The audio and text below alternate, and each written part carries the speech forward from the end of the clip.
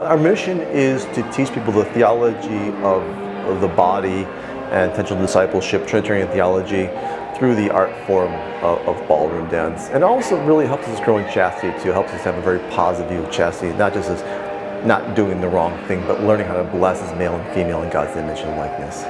So one of the big problems we have, I find, is, is that we don't know how to use our bodies the way God intended.